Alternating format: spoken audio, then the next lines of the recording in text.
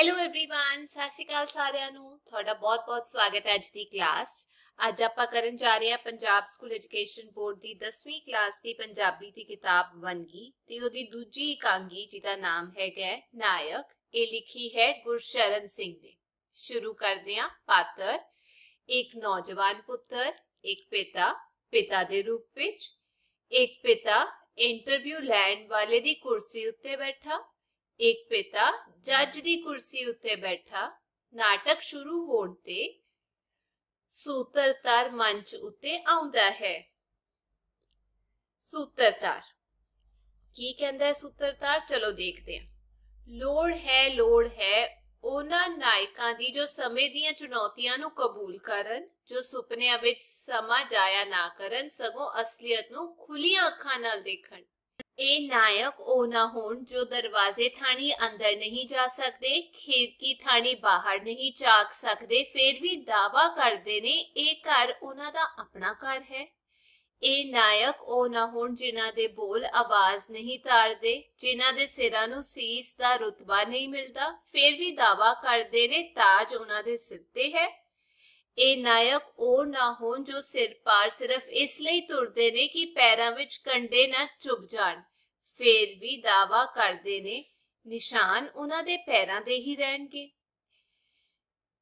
ਇਹ ਨਾਇਕ ਉਹ ਨਾ ਹੋਣ ਜਿਨ੍ਹਾਂ ਦਾ ਦਿਲ ਜਰਦ ਪੱਤਿਆਂ ਦਾ ਜਨਾਜ਼ਾ ਉਠਾਣਨ ਨਾਲ ਚੜਦਾ ਹੈ ਤੇ ਰਾਤ ਪੈਂਦੀ ਹੈ ਮੁਰਝਾਏ ਫੁੱਲਾਂ ਦੀ ਅਰਥੀ ਚੁੱਕਣ ਨਾਲ। ਫੇਰ ਵੀ ਦਾਵਾ ਕਰਦੇ ਨੇ ਕਿ ਮੌਸਮ ਉਹਨਾਂ ਦੇ ਹੁਕਮ ਨਾਲ ਚੱਲਦਾ ਹੈ।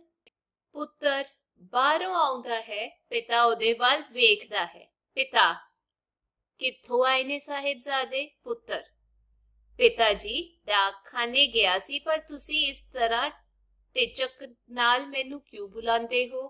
ਪਿਤਾ, ਹੁਣ ਮੈਂ ਆਪਣੇ ਘਰ ਵਿੱਚ ਹੀ ਆਪਣੇ ਪੁੱਤਰ ਨੂੰ ਕਿਸ ਤਰ੍ਹਾਂ ਬੁਲਾਵਾ? ਕਿ ਇੰਨੀ ਵੀ ਮੈਨੂੰ ਆਪਣੇ ਘਰ ਵਿੱਚ ਆਜ਼ਾਦੀ ਨਹੀਂ? ਪੁੱਤਰ, ਆਜ਼ਾਦੀ ਦੀ ਗੱਲ ਨਹੀਂ, ਤੁਸੀਂ ਟਿਚਕ ਇਸ ਲਈ ਕਰ ਰਹੇ ਹੋ ਕਿ ਮੈਂ ਨਾ ਪੜਨ ਤੋਂ ਬਾਅਦ ਵੀ ਘਰ ਵੇਲਾ ਬੈਠਾ ਹਾਂ, ਪਰ ਇਹ ਮੇਰਾ ਕਸੂਰ ਨਹੀਂ।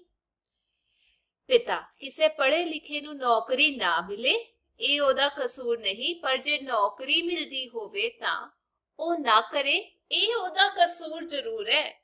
ਪੁੱਤਰ, ਮੈਂ ਤੁਹਾਨੂੰ ਕਿੰਨੀ ਵਾਰ ਕਿਹਾ ਹੈ ਕਿ ਮੈਂ ਕਮੇਟੀ ਘਰ ਵਿੱਚ ਕਲਰਕੀ ਦੀ ਨੌਕਰੀ ਨਹੀਂ ਕਰਨੀ। ਪਿਤਾ ਤੇ ਮੈਂ ਤੈਨੂੰ ਕਿੰਨੀ ਵਾਰ ਕਿਹਾ ਕਿ ਉਸ ਤੋਂ ਸਿਵਾ ਹੋਰ ਨੌਕਰੀ ਤੈਨੂੰ ਨਹੀਂ ਮਿਲ ਸਕਦੀ। ਇਸ ਵਿੱਚ ਸ਼ੱਕ ਨਹੀਂ, ਤੂੰ ਐਮਏ ਪਾਸ ਹੈ। ਇਹ ਬਿਲਕੁਲ ਉਸੇ ਤਰ੍ਹਾਂ ਹੈ ਜਿਸ ਤਰ੍ਹਾਂ ਮੈਂ ਕਿਸੇ ਵੇਲੇ ਮੈਟ੍ਰਿਕ ਪਾਸ ਸਾਂ। ਮੈਂ ਕਲਰਕੀ ਦੀ ਨੌਕਰੀ ਕੀਤੀ, ਤੂੰ ਕਿਉਂ ਨਹੀਂ ਕਰ ਸਕਦਾ? ਉਸ ਵੇਲੇ ਮੈਟ੍ਰਿਕ ਪਾਸ ਦੀ ਜੋ ਲਿਆਕਤ ਸੀ, ਉਹ ਹੁਣ ਐਮਏ ਪਾਸ ਦੀ ਹੈ। ਪੁੱਤਰ ਪਿਤਾ ਜੀ, ਮੈਟ੍ਰਿਕ ਮੈਟ੍ਰਿਕ ਹੁੰਦਾ ਹੈ। ਐਮਏ ਐਮਏ ਹੁੰਦੀ ਹੈ। ਪਿਤਾ, ਪਰ ਹੁਣ ਦਾ ਐਮਏ ਪਹਿਲੇ ਵੇਲੇ ਦੀ ਮੈਟ੍ਰਿਕ ਦੇ ਬਰਾਬਰ ਹੈ। ਜਿਸ ਤਰ੍ਹਾਂ ਹੁਣ ਦਾ ਰੁਪਈਆ ਪਹਿਲੇ ਵੇਲੇ ਦੇ ਆਨੇ ਦੇ ਬਰਾਬਰ ਹੈ। ਪੁੱਤਰ, ਪਿਤਾ ਜੀ, ਆਨਾ ਆਨਾ ਹੁੰਦਾ ਹੈ ਤੇ ਰੁਪਇਆ ਰੁਪਇਆ ਹੀ ਹੁੰਦਾ ਹੈ। ਪਿਤਾ, ਤੂੰ ਕਹਿਣਾ ਕੀ ਚਾਹੁੰਦਾ ਹੈ? ਪੁੱਤਰ, ਇਹੋ ਕਿ ਤੁਸੀਂ ਹਰ ਗੱਲ ਵਿੱਚ ਮੈਨੂੰ ਆਪਣੇ ਮੁਕਾਬਲੇ ਨਾ ਖੜਾ ਕਰਿਆ ਕਰੋ ਪਿਤਾ। ਪਰ ਮੈਂ ਇਹ ਵੀ ਬਰਦਾਸ਼ਤ ਨਹੀਂ ਕਰ ਸਕਦਾ ਕਿ ਕੱਲ ਦਾ ਮੁੰਡਾ ਆਪਣੇ ਆਪ ਨੂੰ ਮੇਰੇ ਤੋਂ ਉੱਚਾ ਸਮਝੇ। ਮੈਂ ਜੋ ਕਮੇਟੀ ਘਰ ਦੇ ਦਫ਼ਤਰ ਦਾ ਸੁਪਰਡੈਂਟ ਹਾਂ, ਸਾਰੇ ਸ਼ਹਿਰ ਦੇ ਟੈਕਸ ਤੇ ਕਾਗਜ਼ ਮੇਰੇ ਰਾਹੀਂ ਲੰਘਦੇ ਨੇ। ਪੁੱਤਰ, ਇੱਕ ਚੌਂਕ 'ਚ ਖੜਾ ਸਿਪਾਹੀ ਹਰ ਇੱਕ ਕਾਰ ਵਾਲੇ ਨੂੰ ਰੋਕ ਸਕਦਾ ਹੈ, ਪਰ ਇਹਦਾ ਇਹ ਮਤਲਬ ਨਹੀਂ ਕਿ ਉਹਦਾ ਰੁਤਬਾ ਕਾਰ ਵਾਲਿਆਂ ਨਾਲੋਂ ਉੱਚਾ ਹੈ। ਪਿਤਾ, ਹੁਣ ਤੂੰ ਮੈਨੂੰ ਚੌਂਕ ਤੇ ਖੜਾ ਸਿਪਾਹੀ ਬਣਾ ਦਿੱਤਾ ਹੈ। ਪੁੱਤਰ, ਜੇ ਇੱਕ ਫਰਸਟ ਕਲਾਸ ਐਮਏ ਨੂੰ ਤੁਸੀਂ ਮੈਟ੍ਰਿਕ ਦੇ ਬਰਾਬਰ ਬਣਾ ਦੇਣ ਦਾ ਹੱਕ ਰੱਖਦੇ ਹੋ, ਤਾਂ ਮੈਂ ਵੀ ਕੋਈ ਹੱਕ ਰੱਖਦਾ ਹਾਂ। ਪਿਤਾ, ਮੈਂ ਤੇਰੇ ਕੋਲੋਂ ਸਿਰਫ ਇਹ ਪੁੱਛਿਆ ਸੀ ਕਿ ਤੂੰ ਕਿੱਥੋਂ ਆਇਆ ਹੈ। ਪੁੱਤਰ, ਤੇ ਮੈਂ ਤੁਹਾਨੂੰ ਦੱਸਿਆ ਹੈ ਕਿ ਮੈਂ ਡਾਕਖਾਨੇ ਤੋਂ ਆਇਆ ਹਾਂ। ਮੈਂ ਜੋ ਪਿਛਲੇ ਹਫ਼ਤੇ ਇੰਟਰਵਿਊ ਦੇ ਕੇ ਆਇਆ ਹਾਂ, ਉਹਦੇ ਰਿਜ਼ਲਟ ਦੀ ਮੈਨੂੰ ਉਡੀਕ ਹੈ। ਪਿਤਾ, ਤੇ ਤੂੰ ਉਡੀਕ ਵਿੱਚ ਬੁੱਢਾ ਹੋ ਜਾਏਗਾ। ਪੁੱਤਰ, ਜੇ ਤੁਹਾਡੀਆਂ ਸ਼ੁਭ ਇੱਛਾਵਾਂ ਇਸੇ ਤਰ੍ਹਾਂ ਮੇਰੇ ਨਾਲ ਰਹੀਆਂ, ਤਾਂ ਇਹ ਗੱਲ ਸੱਚੀ ਵੀ ਹੋ ਸਕਦੀ ਹੈ। ਤੇ ਤੁਹਾਡੀ ਜਾਣਕਾਰੀ ਲਈ ਦੱਸਦੇ ਹਾਂ ਕਿ ਕੱਲ ਇੱਕ ਹੋਰ ਇੰਟਰਵਿਊ ਦੇਣ ਜਾ ਰਿਹਾ ਹਾਂ। ਕਾਲਜ ਵਿੱਚ ਲੈਕਚਰਰ ਦੀ ਪੋਸਟ ਹੈ। ਪਿਤਾ, ਕਿਹੜੇ ਕਾਲਜ ਵਿੱਚ? ਪੁੱਤਰ, ਤੁਸੀਂ ਪੁੱਛ ਕੇ ਕੀ ਲੈਣਾ ਪਿਤਾ, ਹੋ ਸਕਦਾ ਹੈ ਮੈਂ ਕਿਸੇ ਸਿਫਾਰਿਸ਼ ਦਾ ਬੰਦੋਬਸਤ ਕਰ ਸਕਾਂ। ਪੁੱਤਰ, ਮੈਨੂੰ ਕਿਸੇ ਦੀ ਸਿਫਾਰਿਸ਼ ਦੀ ਲੋੜ ਨਹੀਂ। ਪਿਤਾ, ਹਾਂ, ਅਗਰ ਕੋਈ ਮੈਟ੍ਰਿਕ ਪਾਸ ਕਿਸੇ ਐਮਏ ਪਾਸ ਦੀ ਸਿਫਾਰਿਸ਼ ਲਾਵੇ ਤਾਂ ਇਹ ਉਸ ਦੀ ਬੇਇੱਜ਼ਤੀ ਹੈ, ਭਾਵੇਂ ਮੈਟ੍ਰਿਕ ਪਾਸ ਉਹਦਾ ਪਿਤਾ ਹੀ ਕਿਉਂ ਨਾ ਹੋਵੇ। ਪੁੱਤਰ, ਨਹੀਂ, ਇਹ ਗੱਲ ਨਹੀਂ। ਮੈਂ ਆਪਣੇ ਪੈਰਾਂ ਤੇ ਖਲੋਣਾ ਚਾਹੁੰਦਾ ਹਾਂ, ਪਰ ਤੁਸੀਂ ਮੇਰੀ ਇਹ ਗੱਲ ਨਹੀਂ ਸਮਝੋਗੇ। ਪਿਤਾ, ਮੈਂ ਤੇਰੇ ਗੱਲ ਨਹੀਂ ਸਮਝਾਂਗਾ ਕਿ ਮੈਂ ਤੇਰਾ ਦੁਸ਼ਮਣ ਹਾਂ। ਪੁੱਤਰ, ਕਿਸੇ ਕਿਸੇ ਵੇਲੇ ਮੈਨੂੰ ਇਸੇ ਤਰ੍ਹਾਂ ਲੱਗਦਾ ਹੈ। ਪਿਤਾ, ਅੱਛਾ, ਜੇ ਇਸ ਤਰ੍ਹਾਂ ਹੀ ਤੂੰ ਸਮਝਣਾ ਹੈ ਤੇ ਠੀਕ ਹੈ। ਹਾਂ, ਤੇਰੇ ਮਹੀਨੇ ਦੇ ਖਰਚ ਲਈ ਪੈਸੇ ਤੇਰੇ ਕਮਰੇ ਵਿੱਚ ਮੇਜ਼ ਤੇ ਰੱਖ ਦਿੱਤੇ ਨੇ। ਹੋਰ ਲੋੜ ਹੋਵੇ ਤਾਂ ਮੰਗ ਲਵੀ। ਪੁੱਤਰ, ਸ਼ੁਕਰੀਆ, ਤੁਹਾਡਾ ਮੇਰੇ ਉਤੇ ਕਰਜ਼ਾ ਵਾਧਾ ਜਾ ਰਿਹਾ ਹੈ। ਪਿਤਾ, ਕਰਜ਼ਾ? ਪੁੱਤਰ, ਇਮਤਿਹਾਨ ਦੇ ਰਿਜ਼ਲਟ ਬਾਅਦ ਜੋ ਵੀ ਪੈਸਾ ਮੈਂ ਤੁਹਾਡੇ ਕੋਲ ਲਿਆ ਹੈ, ਉਹ ਕਰਜ਼ਾ ਹੀ ਹੈ ਤੇ ਉਹ ਮੈਂ ਸੂਦ ਸਮੇਤ ਮੋੜਨਾ ਚਾਹਾਂਗਾ। ਪਿਤਾ, ਤੈਨੂੰ ਆਪਣੇ ਪਿਤਾ ਨਾਲ ਇਸ ਤਰ੍ਹਾਂ ਗੱਲ ਕਰਦਿਆਂ ਸ਼ਰਮ ਆਉਣੀ ਚਾਹੀਦੀ ਹੈ। ਪੁੱਤਰ, ਸ਼ਰਮ ਵੇਲੇ ਸ਼ਰਮ ਜ਼ਰੂਰ ਕਰਾਂਗਾ, ਪਰ ਹੁਣ ਨਹੀਂ। ਪਿਤਾ, ਕਿਸ ਵੇਲੇ? ਪੁੱਤਰ, ਤੁਸੀਂ ਜਦੋਂ ਹੋਰ ਬੁੱਢੇ ਹੋ ਗਏ ਤੇ ਮੈਂ ਤੁਹਾਡੇ ਲਈ ਕੁਝ ਨਾ ਕਰ ਸਕਿਆ ਤਾਂ ਮੈਨੂੰ ਸ਼ਰਮ ਆਵੇਗੀ। ਪਿਤਾ, ਸੋ ਤੂੰ ਹੁਣੇ ਹੀ ਫੈਸਲਾ ਕਰ ਲਿਆ ਕਿ ਤੂੰ ਮੇਰੇ ਲਈ ਕੁਝ ਨਹੀਂ ਕਰੇਗਾ, ਸਿਰਫ ਸ਼ਰਮ ਕਰਕੇ ਆਪਣਾ ਫਰਜ਼ ਭੁਲਾ ਦਵੇਂਗਾ? ਮੈਨੂੰ ਤੇਰੇ ਤੋਂ ਇਹੋ ਉਮੀਦ ਹੈ, ਪੁੱਤਰ। ਉਮੀਦਾਂ ਲਾਉਣੀਆਂ ਤੁਹਾਡੀ ਪੀੜੀ ਦੀ ਆਦਤ ਹੈ, ਸਾਡੀ ਨਹੀਂ। ਪਿਤਾ, ਕੀ ਮਤਲਬ? ਪੁੱਤਰ, ਤੁਹਾਡੀ ਪੀੜੀ ਨੇ ਉਮੀਦ ਲਾਈ ਸੀ, ਦੇਸ਼ ਆਜ਼ਾਦ ਹੋਵੇਗਾ, ਇਨਸਾਫ ਦਾ ਰਾਜ ਹੋਵੇਗਾ, ਕੋਈ ਕਿਸੇ ਦੀ ਮਿਹਨਤ ਨਹੀਂ ਲੁੱਟ ਸਕੇਗਾ, ਪਰ ਤੁਹਾਡੀ ਉਮੀਦ ਪੂਰੀ ਨਹੀਂ ਹੋਈ। ਤੁਸੀਂ ਉਮੀਦ ਲਾਈ ਸੀ ਕਿ ਬੱਚੇ ਪੜ੍ਹ ਲਿਖ ਕੇ ਆਪਣੇ ਰੋਜ਼ਗਾਰ ਤੇ ਲੱਗਣਗੇ, ਪਰ ਉਮੀਦ ਪੂਰੀ ਨਹੀਂ ਹੋਈ। ਅਸੀਂ ਨਾ ਕੋਈ ਉਮੀਦ ਲਾਈਏ ਤੇ ਨਾ ਹੀ ਕੋਈ ਵਾਅਦਾ ਕਰ ਸਕਦੇ ਹਾਂ। ਸਾਨੂੰ ਤਾਂ ਹਰ ਘੜੀ ਜੀਣ ਲਈ ਸੰਘਰਸ਼ ਕਰਨਾ ਪੈ ਰਿਹਾ ਹੈ। ਅੱਗੋਂ ਕੀ ਹੋਏਗਾ, ਸਾਨੂੰ ਬਿਲਕੁਲ ਨਹੀਂ ਪਤਾ। ਪਿਤਾ, ਮੈਂ ਸੋਚਦਾ ਹਾਂ ਜੇ ਨੌਜਵਾਨ ਦੀ ਇਹ ਸੋਚ ਬਣ ਗਈ ਹੈ ਤੇ ਦੇਸ਼ ਦਾ ਕੀ ਬਣੇਗਾ। ਪੁੱਤਰ, ਸਾਨੂੰ ਫਿਕਰ ਇਸ ਗੱਲ ਦਾ ਹੈ ਕਿ ਸਾਡਾ ਕੀ ਬਣੇਗਾ? ਪਿਤਾ, ਤੁਹਾਡਾ ਤਾਂ ਹੀ ਕੁਝ ਬਣੇਗਾ ਜੇ ਦੇਸ਼ ਦਾ ਕੁਝ ਬਣੇਗਾ, ਪੁੱਤਰ। ਇਹ ਸਭ ਕਹਿਣ ਦੀਆਂ ਗੱਲਾਂ ਨੇ ਪਿਤਾ ਜੀ। ਦੇਸ਼ ਵਿੱਚ ਜਿਨ੍ਹਾਂ ਦਾ ਬਣਨਾ ਸੀ, ਉਹ ਬਣਿਆ ਹੋਇਆ ਹੈ। ਦੇਸ਼ ਵਿੱਚ ਅਮੀਰ ਲੋਕਾਂ ਦੀ ਕੋਈ ਕਮੀ ਨਹੀਂ। ਹੋਟਲਾਂ ਦੇ ਹੋਟਲ ਬਣੀ ਜਾ ਰਹੇ ਨੇ, ਅਯਾਸ਼ੀ ਕਰਨ ਵਾਲੇ ਅਯਾਸ਼ੀ ਕਰ ਰਹੇ ਨੇ, ਮੁਰਗੇ ਖਾ ਰਹੇ ਨੇ, ਸ਼ਰਾਬ ਪੀ ਰਹੇ ਨੇ। ਸੋ ਦੇਸ਼ ਦੀ ਨਹੀਂ, ਸਾਨੂੰ ਆਪਣੀ ਫਿਕਰ ਹੈ। ਹਾਂ, ਤੁਸੀਂ ਬਾਹਰ ਕਦੋਂ ਜਾਣਾ ਹੈ? ਪਿਤਾ, ਕੀ ਮਤਲਬ? ਪੁੱਤਰ, ਮੇਰੇ ਦੋਸਤ ਬਾਹਰ ਉਡੀਕ ਰਹੇ ਨੇ। ਪਿਤਾ, ਯਾਨੀ ਤੇਰੇ ਕਹਿਣ ਦਾ ਮਤਲਬ ਹੈ ਕਿ ਮੈਂ ਆਪਣੇ ਘਰ ਤੋਂ ਦਫਾ ਹੋ ਜਾਵਾਂ ਕਿਉਂਕਿ ਤੇਰੇ ਦੋਸਤ ਬਾਹਰ ਉਡੀਕ ਕਰ ਰਹੇ ਨੇ। ਪੁੱਤਰ, ਮੈਂ ਦਫਾ ਹੋ ਜਾਣ ਦਾ ਸ਼ਬਦ ਨਹੀਂ ਵਰਤਿਆ। ਉਂਝ ਇਸ ਵਿੱਚ ਸ਼ੱਕ ਨਹੀਂ ਕਿ ਤੁਹਾਡਾ ਬਾਹਰ ਜਾਣ ਦਾ ਸਮਾਂ ਹੋਇਆ ਹੈ। ਜੇ ਤੁਸੀਂ ਨਹੀਂ ਜਾਣਾ ਚਾਹੁੰਦੇ ਤਾਂ ਮੈਂ ਚਲਿਆ ਜਾਵਾਂਗਾ। ਅਸੀਂ ਇੱਕ ਮੀਟਿੰਗ ਕਰਨੀ ਹੈ। ਕਿਧਰੇ ਹੋਰ ਕਰ ਲਵਾਂਗੇ? ਪਿਤਾ, ਬੁਲਾ ਲੈ ਸਾਰਿਆਂ ਨੂੰ, ਮੈਂ ਚੱਲਿਆ ਹਾਂ। ਸੋਟੀ ਚੁੱਕ ਕੇ ਜਾਂਦਾ ਹੈ। ਪੁੱਤਰ ਵੀ ਬਾਹਰ ਜਾਂਦਾ ਹੈ। ਸੂਤਰਤਾ ਪਿਤਾ ਤੇ ਪੁੱਤਰ ਦਾ ਫ਼ਰਕ ਹੈ। ਇਹ ਪੀੜ੍ਹੀਆਂ ਦਾ ਫ਼ਰਕ ਹੈ, ਇਹ ਸੋਚ ਦਾ ਫ਼ਰਕ ਹੈ, ਇਹ ਵਿਸ਼ਵਾਸ ਦਾ ਫ਼ਰਕ ਹੈ। ਇੱਕ ਉਹ ਹੈ ਜੋ ਬੀਤ ਚੁੱਕਾ ਹੈ, ਇੱਕ ਉਹ ਹੈ ਜੋ ਆਉਣ ਵਾਲਾ ਹੈ। ਪੁੱਤਰ ਹੁਣ ਨੌਕਰੀ ਦਾ ਉਮੀਦਵਾਰ ਹੈ, ਪਿਤਾ ਕੁਰਸੀ ਤੇ ਬੈਠਾ ਅਹੁਦੇਦਾਰ ਹੈ, ਨਾਟਕ ਦਾ ਪਿੜ ਤਿਆਰ ਹੈ, ਨਾਟਕ ਇਹ ਮਜ਼ੇਦਾਰ ਹੈ। ਦ੍ਰਿਸ਼ ਇੱਕ ਦਫ਼ਤਰ ਦਾ, ਰੋਸ਼ਨੀ ਹੋਣ ਤੇ ਪਿਤਾ ਹੁਣ ਇੱਕ ਕੁਰਸੀ ਤੇ ਬੈਠਾ ਹੈ। ਉਹ ਇੱਕ ਇੰਟਰਵਿਊ ਲੈਣ ਵਾਲਾ ਵਿਅਕਤੀ ਹੈ ਪਿਤਾ ਆਵਾਜ਼ ਦੇ ਕੇ ਰੋਲ ਨੰਬਰ 1 ਅੰਦਰ ਆ ਜਾਏ ਪੁੱਤਰ ਆਉਂਦਾ ਹੈ ਉਹਦੇ ਕੋਲ ਡਿਗਰੀਆਂ ਦਾ ਲਿਫਾਫਾ ਹੈ ਪਿਤਾ ਸੁਖਦੇਵ ਸਿੰਘ ਤੇਰੇ ਸਰਟੀਫਿਕੇਟ ਬੜੇ ਚੰਗੇ ਹਨ ਪੁੱਤਰ ਹਾਂ ਜੀ ਪਿਤਾ ਤੇਰੀਆਂ ਵਿਦਿਅਕ ਪ੍ਰਾਪਤੀਆਂ ਬਹੁਤ ਹਨ ਪੁੱਤਰ। ਹਾਂ ਜੀ ਮੈਟ੍ਰਿਕ ਤੋਂ ਲੈ ਕੇ ਐਮਏ ਤੱਕ ਮੈਂ ਫਰਸਟ ਕਲਾਸ ਵਿੱਚ ਹੀ ਪਾਸ ਕੀਤੀ ਹੈ, ਮੈਟ੍ਰਿਕ ਵਿੱਚ। ਮੈਂ ਆਪਣੇ ਜ਼ਿਲ੍ਹੇ ਵਿੱਚੋਂ ਫਰਸਟ ਆਇਆ ਸੀ ਬੀਏ ਵਿੱਚੋਂ ਮੈਂ ਕਾਲਜ ਵਿੱਚ ਫਰਸਟ ਆਇਆ ਸਾਂ। ਐਮਏ ਵਿੱਚੋਂ ਮੈਂ ਕਲਾਸ ਵਿੱਚ ਫਰਸਟ ਆਇਆ ਸਾਂ।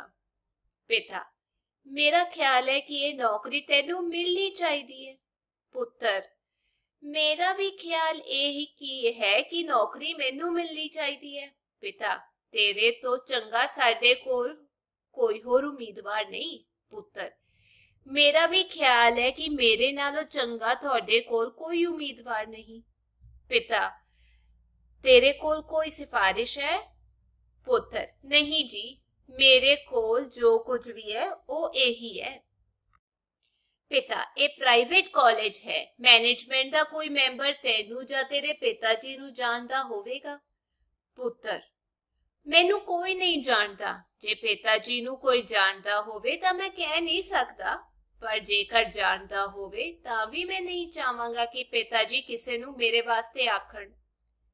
ਪਿਤਾ, ਮੈਂ ਤੇਰੇ ਜਜ਼ਬਿਆਂ ਦੀ ਕਦਰ ਕਰਦਾ ਹਾਂ। ਨੌਜਵਾਨਾਂ ਵਿੱਚ ਇਹੋ ਜਿਹਾ ਹੀ ਵਿਸ਼ਵਾਸ ਹੋਣਾ ਚਾਹੀਦਾ ਹੈ। ਪੁੱਤਰ ਇਹਦਾ ਮਤਲਬ ਹੈ ਕਿ ਮੈਨੂੰ ਇਹ ਨੌਕਰੀ ਮਿਲ ਜਾਏਗੀ? ਪਿਤਾ, ਮੈਂ ਤਾਂ ਚਾਹਾਂਗਾ ਇਹ ਤੈਨੂੰ ਮਿਲ ਜਾਏ, ਪਰ ਪੁੱਤਰ, ਪਰ ਕੀ?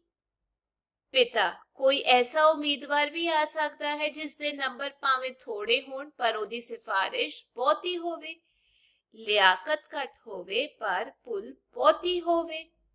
ਪੁੱਤਰ ਇਹ ਗੱਲ ਤੁਹਾਨੂੰ ਨੌਕਰੀ ਦੇ ਇਸ਼ਤਿਹਾਰ ਵਿੱਚ ਦਰਜ ਕਰਨੀ ਚਾਹੀਦੀ ਸੀ ਕਿ ਤੁਹਾਨੂੰ ਐਸੇ ਉਮੀਦਵਾਰ ਦੀ ਲੋੜ ਹੈ, ਜਿਸ ਦੇ ਨੰਬਰ ਭਾਵੇਂ ਥੋੜੇ ਹੋਣ, ਪਰ ਉਹਦੀ ਸਿਫਾਰਿਸ਼ ਬਹੁਤੀ ਹੋਵੇ। ਉਹਦੀ ਲਿਆਕਤ ਘੱਟ ਹੋਵੇ, ਪਰ ਪੁੱਲ ਬਹੁਤੀ ਹੋਵੇ। ਪਿਤਾ, ਇਹ ਕਿਸ ਤਰ੍ਹਾਂ ਲਿਖਿਆ ਜਾ ਸਕਦਾ ਹੈ? ਇਹ ਜਮਹੂਰੀ ਕਦਰਾਂ ਕੀਮਤਾਂ ਦਾ ਦੇਸ਼ ਹੈ। ਇਹਦੇ ਵਿੱਚ ਲਿਖਤੀ ਤੌਰ ਤੇ ਸਾਰਿਆਂ ਦੇ ਹੱਕ ਬਰਾਬਰ ਨੇ। ਪੁੱਤਰ, ਜੇ ਲਿਖਤੀ ਤੌਰ ਤੇ ਬਰਾਬਰ ਨੇ ਤਾਂ ਅਮਲੀ ਤੌਰ ਤੇ ਕਿਉਂ ਨਹੀਂ ਹੋ ਸਕਦੇ? ਪਿਤਾ, ਇਹ ਸਾਡੀ ਮਜਬੂਰੀ ਹੈ। ਪੁੱਤਰ, ਇਹ ਤੁਹਾਡੀ ਮਜਬੂਰੀ ਨਹੀਂ ਹੈ ਤੁਹਾਡੀ ਬੇਈਮਾਨੀ ਹੈ। ਤੁਸੀਂ ਦੰਬੀ ਹੋ, ਬਕਾਰ ਹੋ, ਝੂਠੇ ਹੋ। ਪਿਤਾ, ਤੈਨੂੰ ਬੋਲਣ ਦੀ ਤਮੀਜ਼ ਨਹੀਂ?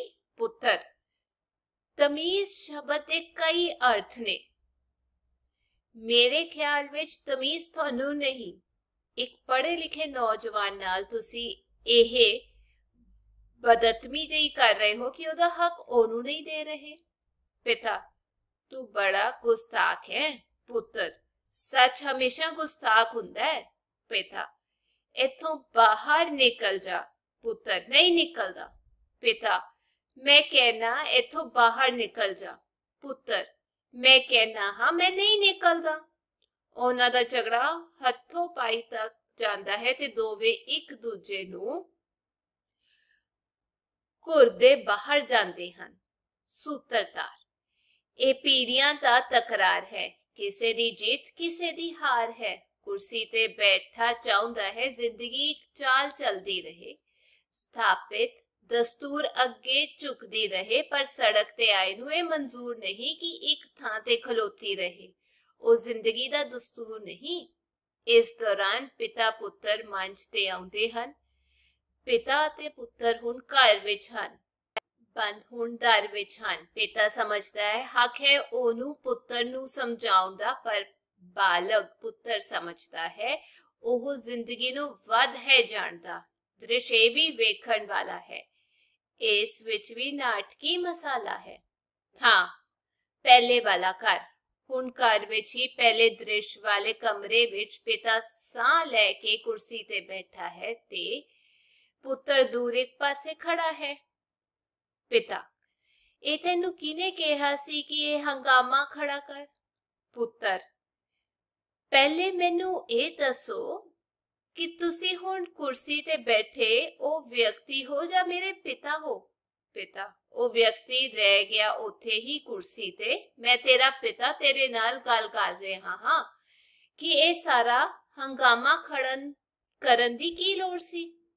ਪੁੱਤਰ, ਪਰ ਉਹਦਾ ਕੀ ਹੱਕ ਬਣਦਾ ਸੀ ਕਿ ਮੇਰੇ ਮੂੰਹ ਤੇ ਕਹੇ ਕਿ ਇਹ ਨੌਕਰੀ ਤੈਨੂੰ ਨਹੀਂ ਮਿਲ ਸਕਦੀ? ਪਿਤਾ ਇਸ ਵਿੱਚ ਉਹਦਾ ਕੀ ਕਸੂਰ ਸੀ? ਉਹਨੇ ਆਪਣੀ ਉਹ ਕੁਰਸੀ ਖੋਣੀ ਸੀ। ਪੁੱਤਰ ਫਿਰ ਇਹ ਕਿਸ ਦਾ ਕਸੂਰ ਹੈ ਕਿ ਇੱਕ ਬੰਦਾ ਜਿਸ ਦੇ ਨੰਬਰ ਬਹੁਤੇ ਹੋਣ, ਉਹਦਾ ਸਾਰਿਆਂ ਨਾਲੋਂ ਵੱਧ ਹੱਕ ਬਣਦਾ ਹੋਵੇ ਕਿ ਉਹ ਨੌਕਰੀ ਲਈ ਚੁਣਿਆ ਜਾਏ, ਪਰ ਉਹ ਚੁਣਿਆ ਨਾ ਜਾਏ। ਪਿਤਾ, ਮੇਰੇ ਜਵਾਨ ਪੁੱਤਰ, ਇਹ ਇਸ ਸਮਾਜ ਦਾ ਕਸੂਰ ਹੈ, ਇਸ ਪ੍ਰਬੰਧ ਦਾ ਕਸੂਰ ਹੈ। ਪੁੱਤਰ, ਤੇ ਮੇਰੇ ਬੁੱਢੇ ਪਿਤਾ ਜੀ, ਇਸ ਪ੍ਰਬੰਧ ਵਿਰੁੱਧ ਕੌਣ ਬੋਲੇਗਾ? ਪਿਤਾ ਤੂੰ ਠੇਕਾ ਤਾਂ ਨਹੀਂ ਲਿਆ ਹੋਇਆ ਕਿ ਹਰ ਇੱਕ ਥਾਂ ਤੇ ਤੂੰ ਬੋਲੇ? ਹੁਣ ਪਤਾ ਹੀ ਕੀ ਹੋਏਗਾ, ਪੁੱਤਰ? ਪਤਾ ਹੈ ਉਸ ਵਿਅਕਤੀ ਨੇ ਪੁਲਿਸ ਵਿੱਚ ਰਿਪੋਰਟ ਲਿਖਵਾ ਦਿੱਤੀ ਹੈ ਕਿ ਮੈਂ ਇੱਕ ਡਿਊਟੀ ਤੇ ਤਾਇਨਾਤ ਬੰਦੇ ਦੀ ਉਸ ਦੇ ਦਫ਼ਤਰ ਵਿੱਚ ਉਸ ਦੀ ਬੇਇੱਜ਼ਤੀ ਕੀਤੀ ਹੈ ਤੇ ਉਸ ਨੂੰ ਮਾਰ ਦੇਣ ਦੀ ਧਮਕੀ ਦਿੱਤੀ ਹੈ। ਪਿਤਾ, ਤੇ ਇਹ ਮਾਮੂਲੀ ਜੁਰਮ ਨਹੀਂ ਤੇਰੇ ਤੇ ਮੁਕਦਮਾ ਚੱਲ ਸਕਦਾ ਹੈ, ਤੈਨੂੰ ਸਜ਼ਾ ਹੋ ਸਕਦੀ ਹੈ। ਪੁੱਤਰ, ਮੁਕਦਮਾ ਚੱਲਣ ਦੇਣਾ, ਜੇਲ੍ਹ ਜਾਣ ਦੇਣਾ, ਤੁਸੀਂ ਜ਼ਮਾਨਤ ਨਾ ਕਰਵਾਉਣਾ। ਪਿਤਾ, ਤੈਨੂੰ ਜੇਲ੍ਹ ਜਾਣ ਦੇਵਾਂ ਤਾਂ ਜੋ ਤੇਰੀ ਮਾਂ ਸੁਪਨਿਆਂ ਵਿੱਚ ਆ ਕੇ ਮੈਨੂੰ ਫਟਕਾਰ ਪਾਵੇ ਕਿ ਆਪਣੇ ਪੁੱਤਰ ਦਾ ਬੜਾ ਖਿਆਲ ਰੱਖਿਆ ਹੈ। ਪੁੱਤਰ, ਜੇ ਤੁਹਾਨੂੰ ਇਸ ਫਟਕਾਰ ਦਾ ਇੰਨਾ ਹੀ ਡਰ ਸੀ ਤਾਂ ਤੁਹਾਨੂੰ ਆਪਣੇ ਪੁੱਤਰ ਦਾ ਖਿਆਲ ਰੱਖਣਾ ਚਾਹੀਦਾ ਸੀ। ਪਿਤਾ, ਕੀ ਮੈਂ ਤੇਰਾ ਖਿਆਲ ਨਹੀਂ ਰੱਖਿਆ? ਸਾਰਿਆਂ ਨਾਲੋਂ ਚੰਗੀ ਤੇਰੀ ਪੜ੍ਹਾਈ ਕਰਾਈ ਹੈ ਤੈਨੂੰ ਕੋਈ ਥੁੜ ਨਹੀਂ ਹੋਣ ਦਿੱਤੀ। ਪੁੱਤਰ, ਇਹ ਤਾਂ ਹਰ ਬਾਪ ਕਰਦਾ ਹੈ ਮੈਂ ਤਾਂ ਇਹੀ ਮੰਨਦਾ ਹਾਂ ਕਿ ਤੁਸੀਂ ਮੇਰਾ ਖਿਆਲ ਰੱਖਿਆ ਹੈ ਕਿ ਤੁਸੀਂ ਉਹ ਲੜਾਈ ਲੜਦੇ ਜਿਹੜੀ ਹੁਣ ਮੈਨੂੰ ਲੜਨੀ ਪੈ ਰਹੀ ਹੈ ਪਿਤਾ, ਯਾਨੀ ਮੈਂ ਵੀ ਕਿਸੇ ਅਫਸਰ ਨਾਲ ਲੜਿਆ ਹੁੰਦਾ, ਉਹਦੇ ਨਾਲ ਹੱਥਾਪਾਈ ਕੀਤੀ ਹੁੰਦੀ, ਉਹ ਉੱਚੀ ਬੋਲਦਾ ਮੈਂ ਹੋਰ ਉੱਚੀ ਬੋਲਦਾ ਤੇ ਫਿਰ ਨੌਕਰੀ ਤੋਂ ਬਰਖਾਸ ਹੋ ਕੇ ਘਰ ਬੈਠਾ ਹੁੰਦਾ। ਪੁੱਤਰ, ਇਸ ਤਰ੍ਹਾਂ ਨਾ ਕਰਦੇ। ਪਰ ਕਿਸੇ ਬੇਇਨਸਾਫੀ ਵਿਰੁੱਧ ਕਦੇ ਬੋਲੇ ਤਾਂ ਹੁੰਦੇ। ਜਿਹੜੀ ਬੁਜ਼ਦਲੀ ਤੁਸੀਂ ਤੇ ਤੁਹਾਡੀ ਪੀੜੀ ਨੇ ਬਰਦਾਸ਼ਤ ਕੀਤੀ, ਉਹਦਾ ਨਤੀਜਾ ਮੈਂ ਤੇ ਮੇਰੀ ਭੋਗ ਰਹੇ ਹਾਂ, ਪਰ ਅਸੀਂ ਇਹ ਸਭ ਚੁੱਪ ਕਰਕੇ ਬਰਦਾਸ਼ਤ ਨਹੀਂ ਕਰਾਂਗੇ। ਅਸੀਂ ਹੰਗਾਮਾ ਕਰਾਂਗੇ ਕੁਰਸੀ ਤੇ ਬੈਠਿਆਂ ਦੀ ਪੱਗ ਨੂੰ ਹੱਥ ਪਾਵਾਂਗੇ। ਪਿਤਾ, ਤੇਰਾ ਪਿਤਾ ਵੀ ਇੱਕ ਜ਼ਿੰਮੇਵਾਰੀ ਵਾਲੀ ਕੁਰਸੀ ਤੇ ਬੈਠਦਾ ਹੈ। ਤੂੰ ਚਾਹੇਗਾ ਕਿ ਜਿਸ ਤਰ੍ਹਾਂ ਤੂੰ ਉਸ ਭਲੇ ਮਾਨਸ ਵਿਅਕਤੀ ਦੀ ਪੱਗ ਤੇ ਹੱਥ ਪਾਇਆ ਹੈ, ਕੋਈ ਆ ਕੇ ਤੇਰੇ ਪਿਤਾ ਦੀ ਪੱਗ ਨੂੰ ਵੀ ਇਸ ਤਰ੍ਹਾਂ ਪਾਏ? ਪੁੱਤਰ, ਹਾਂ ਅਗਰ ਮੇਰਾ ਪਿਤਾ ਕੋਈ ਗਲਤੀ ਕਰ ਰਿਹਾ ਹੋਵੇ ਤਾਂ ਮੇਰੇ ਵਰਗਾ ਕੋਈ ਨੌਜਵਾਨ ਆ ਕੇ ਮੇਰੇ ਪਿਤਾ ਦੀ ਪੱਗ ਨੂੰ ਹੱਥ ਪਾਵੇ ਤਾਂ ਮੈਂ ਉਸ ਨੂੰ ਸ਼ਾਬਾਸ਼ ਦੇਵਾਂਗਾ। ਮੈਂ ਤਾੜੀ ਵਜਾ ਕੇ ਆਖਾਂਗਾ, ਤੂੰ ਠੀਕ ਕਰ ਰਿਹਾ ਹੈ। ਮੇਰੇ ਪਿਤਾ ਨਾਲ ਇਸੇ ਤਰ੍ਹਾਂ ਹੋਣੀ ਚਾਹੀਦੀ ਸੀ। ਉਹ ਜਿਸ ਕੁਰਸੀ ਤੇ ਬੈਠਾ ਸੀ, ਉਹਦੇ ਨਾਲ ਇਨਸਾਫ ਨਹੀਂ ਸੀ ਕਰ ਰਿਹਾ। ਉਹ ਕੁਝ ਟੁਕੜਿਆਂ ਬਦਲੇ ਆਪਣੀ ਜ਼ਮੀਰ ਵੇਚ ਰਿਹਾ ਸੀ। ਪਿਤਾ ਸ਼ਾਬਾਸ਼ ਪੁੱਤਰ, ਮੈਨੂੰ ਤੇਰੇ ਤੋਂ ਇਹੀ ਉਮੀਦ ਸੀ। ਆਉਣ ਵਾਲੇ ਸਮੇਂ ਵਿੱਚ ਹੁਣ ਪੁੱਤਰ, ਪਿਓ ਦੀ ਪੱਗ ਮਿੱਟੀ ਵਿੱਚ ਰੋਲਣ ਉੱਤੇ ਖੁਸ਼ ਹੋਣਗੇ, ਉਹ ਵਾਜੇ ਵਜਾਉਣਗੇ। ਪੁੱਤਰ, ਉਹ ਪਿਓ ਦੀ ਪੱਗ ਰੋਲਣ ਤੇ ਖੁਸ਼ ਨਹੀਂ ਹੋਣਗੇ, ਸਗੋਂ ਹਰ ਉਸ ਗਲਤ ਬੰਦੇ ਦੀ ਪੱਗ ਰੋਲਣ ਤੇ ਖੁਸ਼ ਹੋਣਗੇ, ਭਾਵੇਂ ਉਹ ਉਹਦਾ ਪਿਓ ਹੀ ਕਿਉਂ ਨਾ ਹੋਵੇ। ਪਿਤਾ ਚਲੋ ਜੇਕਰ ਤੂੰ ਇਸੇ ਤਰ੍ਹਾਂ ਹੀ ਰਾਜ਼ੀ ਹੈ ਤਾਂ ਠੀਕ ਹੈ। ਹੁਣ ਤਾਂ ਪੁਲਿਸ ਥਾਣੇ ਚੱਲ। ਪੁੱਤਰ, ਕਿਉਂ? ਪਿਤਾ ਉਸ ਵਿਅਕਤੀ ਨੇ ਤੇਰੇ ਖਿਲਾਫ ਐਫ ਆਈ ਆਰ ਲਿਖਵਾਈ ਹੈ ਕਿ ਉਹ ਤੂੰ ਉਹਦੀ ਡਿਊਟੀ ਤੇ ਬੇਇੱਜ਼ਤੀ ਕੀਤੀ ਹੈ ਤੇ ਉਹਦੇ ਤੇ ਹਮਲਾ ਵੀ ਕੀਤਾ ਹੈ। ਥਾਣੇਦਾਰ ਸਾਹਿਬ ਇੱਥੇ ਆਏ ਸਨ ਮੈਂ ਉਹਨਾਂ ਨਾਲ ਵਾਅਦਾ ਕੀਤਾ ਸੀ ਕਿ ਮੈਂ ਤੈਨੂੰ ਆਪ ਥਾਣੇ ਲੈ ਕੇ ਆਵਾਂਗਾ। ਪੁੱਤਰ। ਮੈਂ ਜਾਣ ਲਈ ਤਿਆਰ ਹਾਂ ਕਿਉਂਕਿ ਮੈਂ ਨਹੀਂ ਚਾਹੁੰਦਾ ਕਿ ਮੇਰੇ ਪਿਤਾ ਜੀ ਜੋ ਵਾਅਦਾ ਕੀਤਾ ਹੈ, ਉਹ ਪੂਰਾ ਨਾ ਹੋਵੇ ਤੇ ਉਹਨਾਂ ਨੂੰ ਸ਼ਰਮਿੰਦਗੀ ਉਠਾਣੀ ਪਏ। ਦੋਵੇਂ ਜਾਣਦੇ ਨੇ। ਸੂਤਰਧਾਰ। ਨਾਟਕ ਹੁਣ ਕਚਹਿਰੀ ਹੈ। ਕਚਹਿਰੀ ਜਿੱਥੇ ਹਰ ਝਗੜੇ ਦਾ ਇਨਸਾਫ ਹੁੰਦਾ ਪਰ ਝਗੜਾ ਮੁੱਕਦਾ ਨਹੀਂ। ਕਚਹਿਰੀ ਜਿੱਥੇ ਇਨਸਾਫ ਕਾਨੂੰਨ ਦੇ ਨਾਂ ਤੇ ਹੁੰਦੇ, ਪਰ ਕਾਨੂੰਨ ਸੱਚ ਦੇ ਨੇੜੇ ਟੁਕਦਾ ਨਹੀਂ। ਝੂਠ ਹੋਣਾ ਚਾਹੁੰਦਾ ਹੈ ਸੱਚ ਤੇ ਹਾਵੀ, ਪਰ ਸੱਚ ਵੀ ਹੈ ਅਣਖ ਵਾਲਾ, ਝੂਠ ਅੱਗੇ ਝੁਕਦਾ ਨਹੀਂ। ਪਿਤਾ ਇੱਕ ਜੱਜ ਹੈ ਉਧਰ ਕਟਹਿਰੇ ਹੈ ਖੜਾ ਗੱਲ ਅਜਬ ਜ਼ਰੂਰ ਹੈ, ਧਿਆਨ ਨਾਲ ਵੇਖਣਾ ਦ੍ਰਿਸ਼ ਇਹ, ਨਾਟਕੀ ਟੱਕਰ ਨਾਲ ਭਰਪੂਰ ਹੈ। ਥਾਂ, ਕਚਹਿਰੀ। ਇੱਕ ਵਿਅਕਤੀ ਜੱਜ ਦੀ ਕੁਰਸੀ ਤੇ ਬੈਠਾ ਹੈ, ਉਹ ਪਿਤਾ ਹੈ। ਪੁੱਤਰ ਮੁਜਰਮਾ ਵਾਲੀ ਥਾਂ ਤੇ ਖਲੋਤਾ ਹੈ ਉਹਦੀਆਂ ਗੱਲਬਾਤ ਕਰਨ ਵੇਲੇ ਦੀਆਂ ਹਰਕਤਾਂ ਸਥਾਪਿਤ ਕਰਦੀਆਂ ਹਨ ਕਿ ਉਹ ਕਠੇਰੇ 'ਚ ਖੜਾ ਹੈ ਪਿਤਾ ਤੂੰ ਸਰਕਾਰੀ ਵਕੀਲ ਕੋਲੋਂ ਆਪਣੇ ਵਿਰੁੱਧ ਸੁਣ ਲਿਆ ਹੈ ਪੁੱਤਰ ਹਾਂ ਜੀ ਸੁਣ ਲਿਆ ਹੈ ਪਿਤਾ ਤੂੰ ਆਪਣੇ ਬੱਚਾ ਲਈ ਕੁਝ ਕਹਿਣਾ ਹੈ ਪੁੱਤਰ ਹਾਂ ਕਹਿਣਾ ਹੈ ਪਿਤਾ ਤੂੰ ਚਾਹੇ ਤਾਂ ਕੋਈ ਵਕੀਲ ਕਰ ਸਕਦਾ ਹੈ, ਪੁੱਤਰ। ਨਹੀਂ ਵਕੀਲ, ਮੈਨੂੰ ਬਚਾਉਣ ਲਈ ਕੋਈ ਦਾ ਪੇਚ ਦੱਸੇਗਾ। ਮੈਨੂੰ ਝੂਠ ਬੋਲਣ ਲਈ ਆਖੇਗਾ, ਪਰ ਮੈਂ ਕੋਈ ਝੂਠ ਨਹੀਂ ਬੋਲਣਾ ਚਾਹੁੰਦਾ। ਪਿਤਾ, ਕੀ ਤੇਰਾ ਮਤਲਬ ਹੈ ਕਿ ਇਹ ਕਚਹਿਰੀ ਝੂਠੀਆਂ ਕਾਰਵਾਈਆਂ ਕਰਦੀ ਹੈ? ਪੁੱਤਰ, ਇੱਥੇ ਹਰ ਇਨਸਾਫ ਗਵਾਹੀ ਉੱਤੇ ਕੀਤਾ ਜਾਂਦਾ ਹੈ ਤੇ ਗਵਾਹੀਆਂ 999 ਫੀਸਦੀ ਝੂਠੀਆਂ ਹੁੰਦੀਆਂ ਹਨ। ਪਿਤਾ। ਗਵਾਹੀ ਦੇਣ ਵਾਲੇ ਨੂੰ ਗੀਤਾ, ਕੁਰਾਨ, ਗੁਰੂ ਗ੍ਰੰਥ ਸਾਹਿਬ ਅਤੇ ਪਵਿੱਤਰ ਅੰਜੀਲ ਤੇ ਹੱਥ ਰੱਖ ਕੇ ਗਵਾਹੀ ਦੇਣ ਲਈ ਆਖਿਆ ਜਾਂਦਾ ਹੈ। ਪੁੱਤਰ, ਹਾਂ, ਗਵਾਹ ਨੂੰ ਆਖਿਆ ਜਾਂਦਾ ਹੈ, ਜੇਕਰ ਉਸਨੇ ਝੂਠ ਬੋਲਣਾ ਹੀ ਹੈ, ਤਾਂ ਉਹ ਗੀਤਾ, ਕੁਰਾਨ, ਗੁਰੂ ਗ੍ਰੰਥ ਅਤੇ ਅੰਜੀਲ ਤੇ ਹੱਥ ਰੱਖ ਕੇ ਬੋਲੇ ਤਾਂ ਜੋ ਉਸ ਦੇ ਝੂਠ ਨੂੰ ਧਾਰਮਿਕ ਪੁੱਤ ਚੜ ਸਕੇ ਤੇ ਉਹ ਝੂਠ ਪਵਿੱਤਰਤਾ ਦਾ ਦਰਜਾ ਹਾਸਲ ਕਰ ਲਵੇ। ਪਿਤਾ, ਤੇਰਾ ਮਤਲਬ ਹੈ ਕਿ ਧਾਰਮਿਕ ਪੁਸਤਕਾਂ ਝੂਠ ਨੂੰ ਪਨਾਹ ਦੇਣ ਵਾਸਤੇ ਵਰਤੀਆਂ ਜਾਂਦੀਆਂ ਹਨ। ਪੁੱਤਰ, ਹਾਂ, ਮੇਰਾ ਇਹੋ ਮਤਲਬ ਹੈ। ਪਿਤਾ, ਤੂੰ ਇੱਕ ਜੁਰਮ ਤਾਂ ਕੀਤਾ ਹੀ ਹੈ, ਇੱਕ ਹੋਰ ਜੁਰਮ ਕਰ ਰਿਹਾ ਹੈ। ਪੁੱਤਰ, ਮੈਂ ਤੋਹੀਨ ਨਹੀਂ ਕਰ ਰਿਹਾ, ਸਗੋਂ ਇਹਨਾਂ ਨੂੰ ਤੋਹੀਨ ਤੋਂ ਬਚਾਉਣਾ ਚਾਹੁੰਦਾ ਹਾਂ। ਜੇਕਰ ਝੂਠ ਬੋਲਣਾ ਹੀ ਹੈ, ਤਾਂ ਇਹਨਾਂ ਪਵਿੱਤਰ ਪੁਸਤਕਾਂ ਨੂੰ ਕਿਉਂ ਵਿੱਚ ਲਿਆਂਦਾ ਜਾਂਦਾ ਹੈ? ਤਾਂ ਇਹ ਤੁਹਾਡੀ ਪੀੜੀ ਦੀ ਆਦਤ ਬਣ ਗਈ ਹੈ ਕਿ ਹਰੇਕ ਚੀਜ਼ ਨੂੰ ਉਲਟਾ ਕਰਕੇ ਦੇਖੋ, ਪੁੱਤਰ।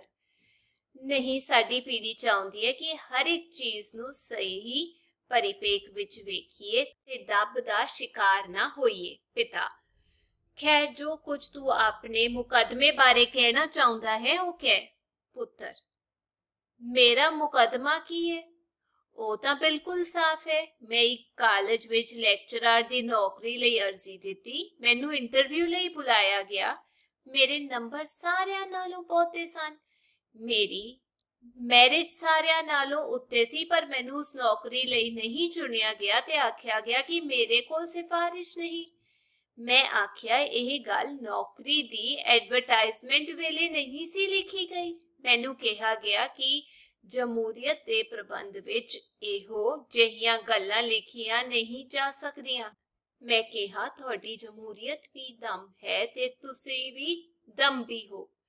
ਦੰਬੀ ਸ਼ਬਦ ਤੇ ਕੁਰਸੀ ਤੇ ਬੈਠਾ ਵਿਅਕਤੀ ਆਪੇ ਤੋਂ ਬਾਹਰ ਹੋ ਗਿਆ। ਉਹਨਾਂ ਮੈਨੂੰ ਬਾਹਰ ਨਿਕਲਣ ਲਈ ਕਿਹਾ। ਮੈਂ ਨਹੀਂ ਨਿਕਲਿਆ। ਉਹਨਾਂ ਮੈਨੂੰ ਬਾਹਰ ਧੱਕੇ ਮਾਰਨੇ ਚਾਹੇ। ਉਹਨਾਂ ਦੀ ਪੱਗ ਸਿਰ ਤੋਂ ਲੱਥ ਕੇ ਡਿੱਗ ਪਈ। ਅਸਲ ਵਿੱਚ ਉਹ ਪੱਗ ਬੰਦੀ ਨਹੀਂ ਸੀ ਸਿਰ ਸਿਰਫ ਸਿਰ ਤੇ ਰੱਖੀ ਹੋਈ ਸੀ। ਪੱਗ ਲੱਥੀ ਵੇਖ ਕੇ ਉਹ ਹੋਰ ਤਿਲ ਮਿਲਾਏ, ਥਾਣੇ ਨਸੇ ਗਏ, ਕਹਾਣੀ ਬਸ ਇੰਨੀ ਹੀ ਹੈ। ਪਿਤਾ, ਕਿਸੇ ਆਦਮੀ ਦੀ ਪੱਗ ਲੈ ਜਾਏ ਮਿੱਟੀ 'ਚ ਰੁਲ ਜਾਏ ਤਾਂ ਉਹ ਉਹਦੇ ਕਤਲ ਦੇ ਬਰਾਬਰ ਹੀ ਹੁੰਦਾ ਹੈ, ਪੁੱਤਰ। ਹਾਂ, ਜੇਕਰ ਉਹ ਕਿਸੇ ਅਣਖ ਵਾਲੇ ਦੀ ਪੱਗ ਹੋਏ, ਜੇ ਸਿਰਫ ਕੋਈ ਕਪੜਾ ਹੀ ਸਿਰ ਤੇ ਲਪੇਟਿਆ ਹੋਏ ਤਾਂ ਇਸ ਨਾਲ ਕੋਈ ਫ਼ਰਕ ਨਹੀਂ ਪੈਂਦਾ ਕਿ ਉਹ ਕਪੜਾ ਸਿਰ ਤੇ ਹੋਏ ਜਾਂ ਮਿੱਟੀ ਵਿੱਚ ਰੁਲਦਾ ਪਿਆ ਹੋਏ। ਤੁਸੀਂ ਹੀ ਦੱਸੋ, ਕੋਈ ਫ਼ਰਕ ਪੈਂਦਾ ਹੈ? ਪਿਤਾ, ਤੂੰ ਤੇ ਮੇਰੇ ਤੇ ਇਸ ਤਰ੍ਹਾਂ ਸਵਾਲ ਕਰ ਰਿਹਾ ਹੈ, ਜਿਸ ਤਰ੍ਹਾਂ ਕਟੇਰੇ ਵਿੱਚ ਮੈਂ ਖੜਾ ਹੋਵਾਂ ਤੇ ਜੱਜ ਦੀ ਕੁਰਸੀ ਤੇ ਤੂੰ ਬੈਠਾ ਹੋਏ। ਪੁੱਤਰ ਉਹ ਤੁਸੀਂ ਸਹੀ ਸਮਝਿਆ ਹੈ ਸਮਾਂ ਆ ਗਿਆ ਹੈ ਕਿ ਤੁਸੀਂ ਜੋ ਕੁਰਸੀਆਂ ਤੇ ਬੈਠੇ ਹੋ ਕਟੇਰੇ ਵਿੱਚ ਖੜੇ ਕੀਤੇ ਜਾਓ ਤੇ ਅਸੀਂ ਜੋ ਕਟੇਰੇ ਵਿੱਚ ਖੜੇ ਹਾਂ ਤੁਹਾਡੇ ਉੱਤੇ ਆਪਣੀ ਜਜਮੈਂਟ ਦਈਏ ਪਿਤਾ ਕਿਉਂ ਪੁੱਤਰ ਕਿਉਂਕਿ ਦੇਸ਼ ਵਿੱਚ ਜੋ ਵੀ ਅਪਰਾਧ ਹੋ ਰਿਹਾ ਹੈ ਉਹਦੇ ਜ਼ਿੰਮੇਵਾਰ ਤੁਸੀਂ ਕੁਰਸੀਆਂ ਤੇ ਬੈਠੇ ਲੋਕ ਹੋ ਇਸ ਦੇਸ਼ ਵਿੱਚ ਜੋ ਕੁਝ ਵੀ ਹਾਲਤ ਹੈ ਤੁਹਾਡੀ ਹੀ ਦੇਣ ਹੈ ਤੁਸੀਂ ਸਾਡੇ ਦੇ ਤੇ ਕਈ ਇਲਜ਼ਾਮ ਦਿੰਦੇ ਹੋ, ਕਦੀ ਨਸੀਹਤ ਦਿੰਦੇ ਹੋ। ਜੇ ਮੈਂ ਤੁਹਾਡੇ ਕੋਲੋਂ ਪੁੱਛਾਂ, ਤੁਸੀਂ ਸਾਡੇ ਲਈ ਕੀ ਕੀਤਾ, ਤਾਂ ਤੁਸੀਂ ਕੀ ਜਵਾਬ ਦੇਵੋਗੇ? ਕਿ ਇਹ ਸਾਡਾ ਭਵਿੱਖ? ਪਿਤਾ, ਕੁਝ ਹੋਰ ਕਹਿਣਾ ਚਾਹੁੰਦਾ ਹੈ? ਪੁੱਤਰ, ਹਾਂ, ਜੇ ਤੁਸੀਂ ਸੁਣਨਾ ਚਾਹੁੰਦੇ ਹੋ, ਤਾਂ ਸੰਖੇਪ ਵਿੱਚ ਇੰਨਾ ਹੀ ਕਹਾਂਗਾ ਕਿ ਤੁਸੀਂ ਸਾਨੂੰ ਇਸ ਹਾਲਤ ਵਿੱਚ ਪੁਚਾ ਦਿੱਤਾ ਹੈ ਕਿ ਸਾਡੇ ਕੋਲ ਵਿਦਰੋਹ ਦੇ ਸਿਵਾ ਕੋਈ ਹੋਰ ਰਾਹ ਨਹੀਂ ਰਿਹਾ। ਇਹ ਵਿਦਰੋਹ ਕਿਹੋ ਜਿਹਾ ਹੋਵੇ? ਇਹਦੇ ਬਾਰੇ ਅਸੀਂ ਹਲੇ ਆਪ ਧੁੰਦ ਵਿੱਚ ਹਾਂ, ਪਰ ਸਾਨੂੰ ਜਦੋਂ ਵੀ ਰੋਸ਼ਨੀ ਲੱਭ ਪਈ ਤਾਂ ਅਸੀਂ ਜ਼ਰੂਰ ਉਠਾਂਗੇ ਤੇ ਫਿਰ ਜੋ ਕੁਝ ਦਿਸ ਰਿਹਾ ਹੈ, ਉਹ ਇਸੇ ਤਰ੍ਹਾਂ ਨਹੀਂ ਦਿਸੇਗਾ। ਪਿਤਾ, ਨੌਜਵਾਨ ਕਿਉਂਕਿ ਤੂੰ ਭਰੀ ਅਦਾਲਤ ਵਿੱਚ ਆਪਣਾ ਕਸੂਰ ਮੰਨ ਲਿਆ ਹੈ ਤੇ ਇਹ ਵੀ ਦੱਸ ਦਿੱਤਾ ਹੈ ਕਿ ਕਿਹਨਾਂ ਹਾਲਤਾਂ ਵਿੱਚ ਤੇਰੇ ਕੋਲੋਂ ਕਸੂਰ ਹੋਇਆ? ਅਦਾਲਤ ਤੇਰੇ ਬਾਰੇ ਨਰਮੀ ਦਾ ਰਵਈਆ ਇਖਤਿਆਰ ਕਰ ਰਹੀ ਹੈ। ਤੈਨੂੰ 1 ਸਾਲ ਦੀ ਕੈਦ ਦਿੱਤੀ ਜਾਂਦੀ ਹੈ। ਪੁੱਤਰ, ਸ਼ੁਕਰੀਆ। ਸੂਤਰਤਾਰ ਜ਼ਿੰਦਗੀ ਆਪਣੀ ਚਾਲੇ ਚੱਲਦੀ ਰਹੀ, ਨਦੀ ਆਪਣੀ ਰੋ ਵਿੱਚ ਵਗਦੀ ਰਹੀ, ਪਿਤਾ ਤੇ ਪੁੱਤਰ ਦੇ ਦਰਮਿਆਨ ਸਿੱਖਾਂ ਦੀ ਦੀਵਾਰ ਹੈ। ਤੇ ਇਹੋ ਦੀਵਾਰ ਹੈ ਜੋ ਸਮੇਂ ਦੀ ਰੋ ਨੂੰ ਹੈ, ਮੋੜਦੀ, ਦਿਲਾਂ ਨੂੰ ਦਿਲਾਂ ਨੂੰ ਹੈ ਜੋੜਦੀ। ਨਾਟਕ ਦਾ ਇਹ ਅਖੀਰ ਹੈ ਤੇ ਇੱਥੇ ਆ ਕੇ ਹੀ ਮਿਟੇਗੀ ਦੋ ਪੀੜੀਆਂ ਦੀ ਲਕੀਰ। ਜੇਲ ਦਾ ਦ੍ਰਿਸ਼, ਪੁੱਤਰ, ਪਿਤਾ ਜੀ, ਤੁਸੀਂ ਬੜੇ ਕਮਜ਼ੋਰ ਹੋ ਗਏ ਹੋ। ਪਿਤਾ, ਹਾਂ, ਪਿਛਲੇ ਦਿਨਾਂ 'ਚ ਕੁਝ ਠੀਕ ਨਹੀਂ ਰਿਹਾ। ਪੁੱਤਰ, ਤੁਹਾਨੂੰ ਆਪਣੀ ਸਿਹਤ ਦਾ ਖਿਆਲ ਰੱਖਣਾ ਚਾਹੀਦਾ ਹੈ। ਪਿਤਾ, ਇਹ ਤੂੰ ਮੈਨੂੰ ਕਹਿ ਰਿਹਾ ਹੈ? ਤੂੰ ਜੀ ਨੇ ਕਦੀ ਵੀ ਆਪਣਾ ਕੋਈ ਧਿਆਨ ਨਹੀਂ ਰੱਖਿਆ। ਪੁੱਤਰ, ਨਹੀਂ ਪਿਤਾ ਜੀ, ਮੈਂ ਤਾਂ ਆਪਣਾ ਬੜਾ ਹੀ ਧਿਆਨ ਰੱਖਦਾ ਹਾਂ। ਦੇਖੋ ਕਿਸ ਤਰ੍ਹਾਂ ਤਕੜਾ ਹਾਂ। ਪਿਤਾ, ਹਾਂ, ਲੱਗਦਾ ਹੈ ਕਿ ਇੱਥੋਂ ਦੇ ਲੋਕਾਂ ਨੂੰ ਆਪਣੇ ਮਹਿਮਾਨਾਂ ਦਾ ਖਿਆਲ ਰੱਖਣਾ ਹੁੰਦਾ ਹੈ ਪੁੱਤਰ, ਮੈਂ ਸੁਣਿਆ ਹੈ ਤੁਸੀਂ ਆਪਣੀ ਰਿਟਾਇਰਮੈਂਟ ਲੈ ਲਈ ਹੈ। ਪਿਤਾ, ਹਾਂ, ਹੁਣ ਮੈਂ ਕਿਸੇ ਕੁਰਸੀ ਤੇ ਨਹੀਂ ਬੈਠਾ ਹੋਇਆ, ਸਗੋਂ ਇੱਕ ਆਜ਼ਾਦ ਵਿਅਕਤੀ ਹਾਂ। ਪੁੱਤਰ ਇਹਦਾ ਮਤਲਬ ਹੈ ਕਿ ਅੱਜ ਇੱਕ ਪੁੱਤਰ ਆਪਣੇ ਪਿਤਾ ਨਾਲ ਗੱਲ ਕਰ ਰਿਹਾ ਹੈ। ਪਿਤਾ, ਹਾਂ, ਹੁਣ ਸਾਡੇ ਦਰਮਿਆਨ ਕੋਈ ਕੁਰਸੀ ਨਹੀਂ, ਨਾ ਦਫ਼ਤਰ ਦੇ ਸੁਪਰੀਡੈਂਟ ਦੀ, ਨਾ ਕਿਸੇ ਇੰਟਰਵਿਊ ਲੈਣ ਵਾਲੇ ਦੀ ਅਤੇ ਨਾ ਹੀ ਕਿਸੇ ਜੱਜ ਦੀ। ਤੇ ਤੂੰ ਇਹੀ ਚਾਹੁੰਦਾ ਸੀ?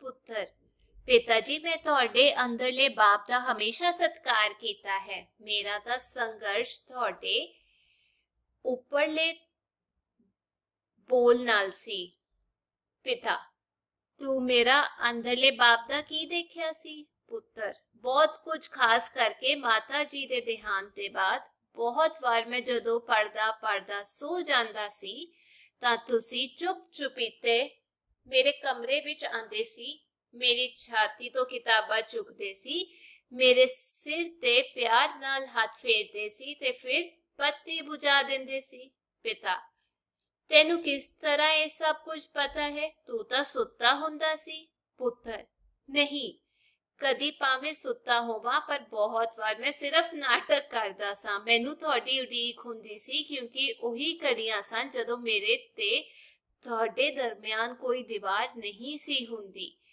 ਜਿਸ ਤਰ੍ਹਾਂ ਹੁਣ ਨਹੀਂ ਪਿਤਾ, ਮੈਨੂੰ ਕਦੇ ਵੀ ਪਤਾ ਨਹੀਂ ਲੱਗਾ ਕਿ ਤੂੰ ਮੇਰੇ ਨਾਲ ਇਹੋ ਜਿਹੀਆਂ ਪਿਆਰ ਵਾਲੀਆਂ ਸ਼ੈਤਾਨੀਆਂ ਕਰ ਸਕਦਾ ਸੀ।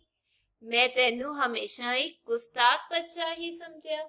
ਪੁੱਤਰ, ਜ਼ਿੰਦਗੀ ਦੀਆਂ ਉਹੀ ਕੜੀਆਂ ਸਨ ਜਦੋਂ ਮੈਂ ਤੁਹਾਨੂੰ ਅਸਲੀ ਰੂਪ ਵਿੱਚ ਵੇਖ ਸਕਿਆ ਸਾਂ। ਇਸੇ ਲਈ ਮੈਂ ਤੁਹਾਡੀ ਹਰ ਜਾਤੀ ਨੂੰ ਖਿੜੇ ਮੱਥੇ ਬਰਦਾਸ਼ਤ ਕਰਦਾ ਸਾਂ।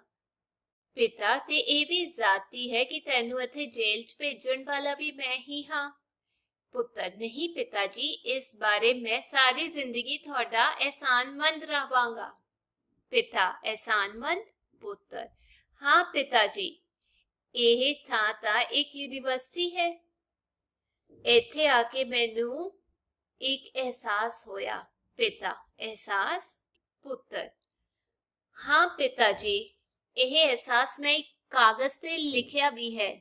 ਸਾਡੀਆਂ ਅੱਖਾਂ ਹਨ। ਅਸੀਂ ਵੇਖ ਸਕਦੇ ਹਾਂ, ਪਰ ਵੇਖਦੇ ਹੋਏ ਵੀ ਅਸੀਂ ਕੁਝ ਨਹੀਂ ਵੇਖਦੇ। ਸਾਡੀ ਜ਼ਬਾਨ ਹੈ, ਅਸੀਂ ਬੋਲ ਸਕਦੇ ਹਾਂ, ਪਰ ਬੋਲਦੇ ਹੋਏ ਵੀ ਚੁੱਪ ਹਾਂ, ਕਿਉਂਕਿ ਜੋ ਕੁਝ ਅਸੀਂ ਬੋਲਣਾ ਹੁੰਦਾ ਹੈ, ਉਹ ਅਸੀਂ ਨਹੀਂ ਬੋਲਦੇ। ਸਾਡੇ ਪੈਰ ਹਨ, ਅਸੀਂ ਤੁਰ ਸਕਦੇ ਹਾਂ, ਪਰ ਅਸੀਂ ਤੁਰਦੇ ਹੋਏ ਵੀ ਇੱਕੋ ਥਾਂ ਖਲੋਤੇ ਹਾਂ, ਕਿਉਂਕਿ ਜਿਸ ਦਿਸ਼ਾ ਵੱਲ ਅਸੀਂ ਤੁਰਨਾ ਹੈ ਉਸ ਸੜਕ ਤੇ ਤੁਰਦੇ ਨਹੀਂ। ਹਾਂ ਪਿਤਾ ਜੀ, ਮੈਨੂੰ ਇੱਕ ਅਹਿਸਾਸ ਹੋਇਆ ਅਤੇ ਮੌਕਾ ਵੀ ਮਿਲਿਆ ਇਹ ਜਾਣਨ ਦਾ ਕਿ ਇਸ ਸਮਾਜ ਵਿੱਚ ਜੋ ਕੁਝ ਗਲਤ ਹੈ, ਉਹ ਗਲਤ ਕਿਉਂ ਹੈ? ਤੇ ਇਹ ਗਲਤ ਬਦਲਿਆ ਕਿਸ ਤਰ੍ਹਾਂ ਜਾ ਸਕਦਾ ਹੈ? ਪਿਤਾ ਜੀ, ਇਹ ਗੱਲ ਮੈਂ ਕਿੱਧਰ ਲੈ ਗਿਆ ਹਾਂ? ਤੁਸੀਂ ਮਿਲਣ ਆਏ ਹੋ?